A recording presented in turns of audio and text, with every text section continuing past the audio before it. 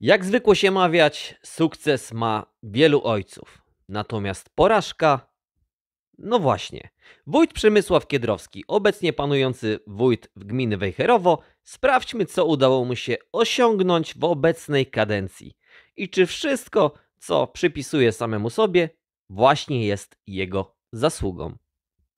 Na samym początku sprawdźmy, co sam wójt miał nam do powiedzenia w pierwszym wywiadzie właśnie po objęciu stanowiska wójta. Y, Inwestycje trwają, więc tutaj myślę przez te dwa lata żadnej rewolucji nie planuję.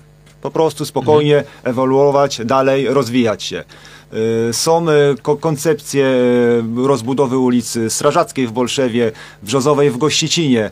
Trwają prace koncepcyjne na temat rozbudowy sieci kanalizacyjnej w Gowinie. Koncepcja rozbudowy nowy, szkoły w Nowym Dworze we- Wejherowskim. Te prace jak najbardziej wszystkie będą kontynuowane i te koncepcje będą wdrażane w przyszłości w życie. E, Trwają prace, e, które są za w prognozie e, długoterminowej również ujęte. Jest to rozbudowa szkoły w Gowinie, e, rozbudowa ulicy Jana Pawła II w Gościcinie, Ogrodowa Polna w Bolszewie, ulica Kochanowska w Gościcinie. To wszystko, co trwa, będziemy dokończać, będziemy budować, więc naprawdę na spokojnie żadnej e, rewolucji nie, nie, nie, nie szykuję w urzędzie. I zanim przejdziemy do konkretów, czyli do pokazywania tych właśnie inwestycji, które wójt przypisał samemu sobie, a nie do końca powinien przypisywać je właśnie swojej osobie. I jest taki jeden przypadek, taka jedna inwestycja, gdzie moim zdaniem mocno nagiął rzeczywistość, czasoprzestrzeń i wiele innych rzeczy. Ale zanim do tego dojdziemy, niestety musimy przebrnąć przez całe szczęście kawałek wywiadu, kawałek wywiadu udzielonego telewizji TTM, gdzie wójt miał jakieś chyba naprawdę preferencyjne warunki, ponieważ oglądałem kilka wywiadów z różnymi włodarzami różnych miejscowości, innymi wójtami i okazuje się, że tylko ten nasz jeden biedaczek miał inflację, pandemię, wojnę, wszystkie po prostu klęski, wszystko spłynęło tylko i wyłącznie na niego, także mieliśmy tutaj na terenie gminy Wejherowo prawdziwą kumulację, a dookoła tego nie było. Także tylko ten jeden wójt był usprawiedliwiany właśnie w taki sposób. No ale całe szczęście jest to tylko kawałek tego właśnie wywiadu. Wójt co prawda stara się podnosić swoje kwalifikacje, czyta coraz trudniejsze teksty, Filip coś sobie przypomniał i stanął jak wryty. Pamiętasz, Pusiu, jak na wiosnę naśladowaliśmy ptaki? Kuku, kuku. Może Niestety wójta gminy Wejherowo nadal bardzo ciężko się słucha. Jeżeli chodzi o jakąkolwiek lekkość wypowiedzi, no to jej tutaj nie uświadczymy, a bardziej powiedziałbym, że w drugą stronę. Natomiast jeżeli chodzi o wywiady, które gdzieś są udzielane na łamach właśnie mediów, no to tutaj też odnoszę takie wrażenie, że ma on możliwość wyboru poziomu trudności i zawsze dostaje ten najłatwiejszy. A zamiast o sprawach takich istotnych, ważnych, mówiłby o zupełnie innych. I nic bardziej tego nie zobrazuje jak pewien klasyczny klip. Witam Państwa i zapraszam na spotkanie z kandydatem na prezydenta, panem... Y, jakie pan ma właściwie nazwisko? Ferdynand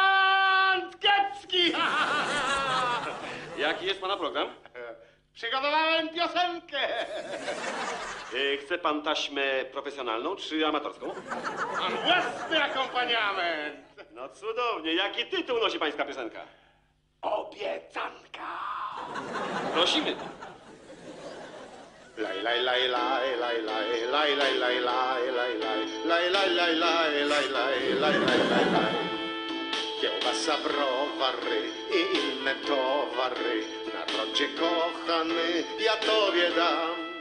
Ale oczywiście wróćmy do wójta, bo tam ani Jacka, ani Gosi. Smutno mu jest pewnie. Wysłuchajmy, za co mamy mu dziękować. Możemy się pochwalić wieloma rzeczami, które udało się także zrobić. Wystarczy spojrzeć na inwestycje e, drogowe, bo tutaj w ostatnich e, tych trzech latach no, parę rzeczy nam się wręcz odmieniło. E, Tak, w ciągu e, całej tej krótkiej mojej trzyletniej kadencji udało się wybudować bądź wyremontować e, 20 kilometrów e, dróg. Były to takie ulice jak e, Cylkowskiego, Strażacka, Pszeniczna, Jęczmienna, no i niedługo już e, czeka nas e, kolejna duża inwestycja drogowa, jaką jest ulica e, Dworska. E, udało się wybudować drogi powiatowe, ważne dla mieszkańców e, gminy, ulica Kochanowska oraz połączenie Gniewowa z Redą, co dało tej części południowej bezpośredni e, dojazd nie tylko do Wejchrowa, ale również e, i e, do Redy. Pomimo tego, że pytania prawdopodobnie zostały wcześniej przesłane do wójta, to i tak mogliśmy się nauczyć na przykład nowego słowa jak pobudowaliśmy. My skupimy się teraz na samych drogach, ale wójt gminy Wejherowo, jak widać i bardziej słychać, nadal w formie niczym Piotr Żyła. I ulica Cylkowskiego w Bolszewie, czyli albo mamy faktycznie zarąbistego wójta, który w trzy miesiące od objęcia stanowiska potrafi załatwić wszystkie uzgodnienia, projekty, załatwić wykonawcę, przetargi, dofinansowanie i w trzy miesiące zrobić taką właśnie drogę. I mamy tu do czynienia z prawdziwym cudem, z prawdziwym cudem nowoczesnego budownictwa i to bez ściągania pracowników z Dalekiego Wschodu. Bardzo szybko chyba potoczyły się prace, ponieważ jak możemy wyczytać na oficjalnych mediach, wójt został wójtem, czyli zaprzysiężenie miało miejsce bodajże 21 czerwca 2021 roku, natomiast odbiór ulicy Cylkowskiego to 9 dzień września 2021 roku. Czyli zakładam prawdopodobnie nawet i słusznie, że jeżeli chodzi o ulicę Cylkowskiego, no to tutaj za kadencji wójta tak naprawdę można zaliczyć tylko i wyłącznie przecięcie tej symbolicznej wstęgi i pokazanie się na pierwszych zdjęciach.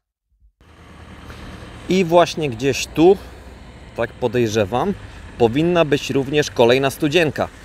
Także ona tutaj pewnie nawet jest, natomiast jej stan raczej nie pozwala na to, żeby woda mogła tam sobie spokojnie, swobodnie spływać. Czyja to jest zasługa? No to już ocencie sobie sami. Kolejne po prostu zaniedbanie, czyli oddać coś, pochwalić się tak naprawdę nie swoją robotą i nawet nie zadać sobie tyle trudu, żeby to było utrzymane w należytym stanie. Tak jak w przypadku parku. Fajna ulica, prawda? A było tak łatwo ją dopisać do swojej listy ulic. Wystarczyło ją na chwilę zamknąć, tu właśnie na przykład w tym miejscu, przeciąć wstęgę, zrobić z tego zdjęcie na stronę gminy Wejherowo, takie fajne propagandowe wy umiecie i dopisać ją spokojnie do swojej listy właśnie otwartych ulic, bo kogo to obchodzi, kto pozyskiwał fundusze, kto zajmował się projektami, kto w ogóle dopinał całą tą inwestycję. Najważniejsze jest to, kto przeciął wstęgę. No i jedną straciliście. Ale możecie jeszcze wrócić, przeciąć i dopisać. Swoją drogą, jak wy wszyscy ładnie ze sobą wyglądacie. Wywiad w telewizji TTM wyemitowany został 13 lub 14 marca. I tam była taka wzmianka o Gościcinie, o ulicy Pszenicznej i ulicy Jęczmiennej. Także sprawdźmy, jak wyglądały te ulice. 26 marca minęło już kilka dni od wywiadu, który bardzo możliwe, że zostanie historycznie zapamiętany jako piękny wywiad, ponieważ tam włodarz gminy Wejherowo Przemysław Kiedrowski za dużo nie musiał się wykazywać, po prostu kiwał główką, potwierdzał to, to co mówił mu redaktor, no ale tam padło kilka właśnie takich dziwnych, jak dla mnie, słów, dziwnych stwierdzeń. Między innymi ulica Jęczmienna i ulica sąsiednia, czyli ulica Pszeniczna. Ja tutaj byłem dosłownie następnego dnia z czystej ciekawości, ponieważ coś mi tu nie grało. Coś mi tu nie grało, okazało się, że miałem rację. Tak na dziś wygląda ulica Jęczmienna. Ja już tam co prawda dalej nie pójdę, ponieważ byłem właśnie wcześniej, zaraz po ukazaniu się tego wywiadu. Czy to jest ulica, która jest ulicą zrobioną? Ponieważ z tego co rozumiem, zrobiona oznacza, że ona już od A do Z jest wykonana. Nie wiem, może ja czegoś nie widzę, może czegoś nie rozumiem, może nie ogarniam tej logiki Przemysława Kiedrowskiego, ale jak dla mnie ta ulica nie jest ulicą zrobioną. To, że tam stoi kostka brukowa, no to nie oznacza, że ona jest ukończona. Natomiast przejdźmy na ulicę Pszeniczną, ponieważ tam już coś się dzieje. I tu mamy te sterty kostki brukowej, przygotowane właśnie na tę ulicę, ale no właśnie, one są przygotowane do położenia pewnie gdzieś, tak? No i właśnie, tu już zaczyna się magia na ulicy Pszenicznej. U góry stoi ciężki sprzęt, już tam nie będę podchodził, po co kogoś tam denerwować. I tu faktycznie krawężnik jest, kostka jest wyłożona, jest studzienka, ale kawał dalej jeszcze nic się nie dzieje.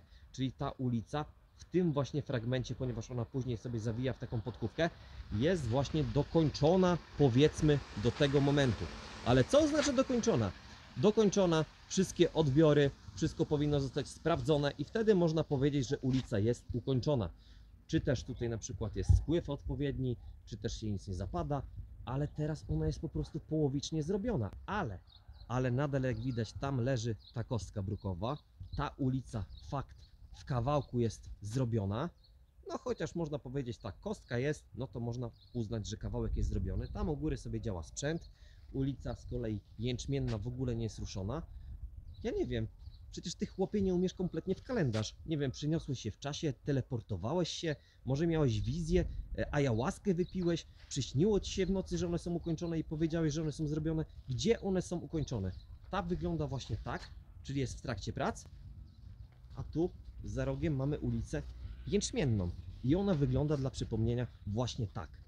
Jak można tak kłamać? Do jasnej W tej cholery. krótkiej mojej trzyletniej kadencji udało się wybudować bądź wyremontować e, 20 km dróg.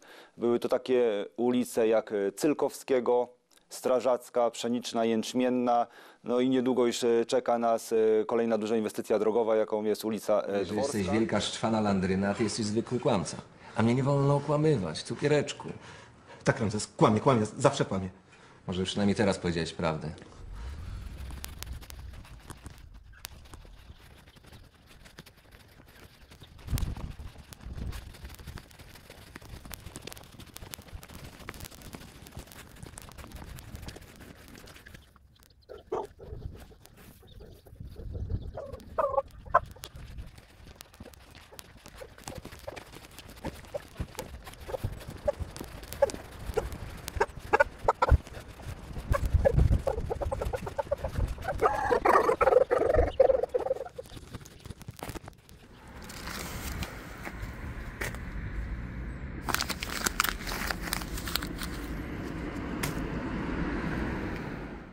I tak naprawdę, gdyby analizować ten wywiad kawałek po kawałku, no to w każdych 30 sekundach moglibyśmy dopatrzyć się jakiegoś małego, delikatnie mówiąc, chochlika. Jak na przykład pokazanie w tle nowej siedziby OSP Orle i fakt, 2 miliony złotych, półtorej roku prac, robi to naprawdę duże wrażenie.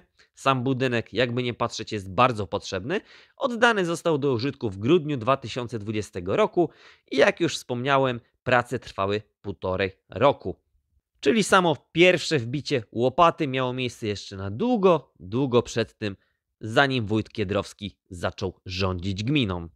Tak samo rozbudowa szkoły w Gowinie, ponieważ ten właśnie etap, który został zakończony, tak, jest to drugi etap.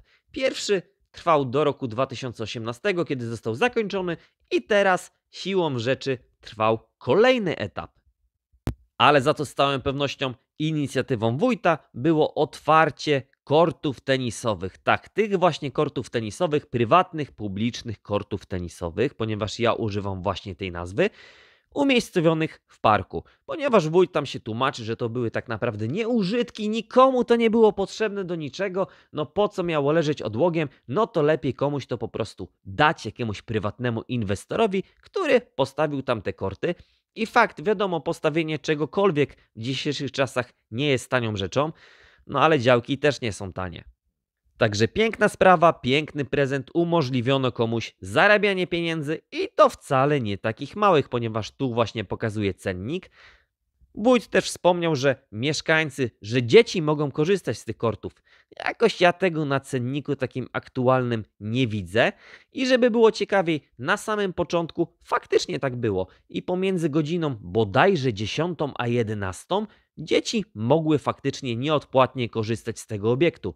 Natomiast wydaje mi się, czy między 10 a 11, pomijając wakacje, czy też ferie, dzieci są w szkole? Chyba tak. Może coś się zmieniło.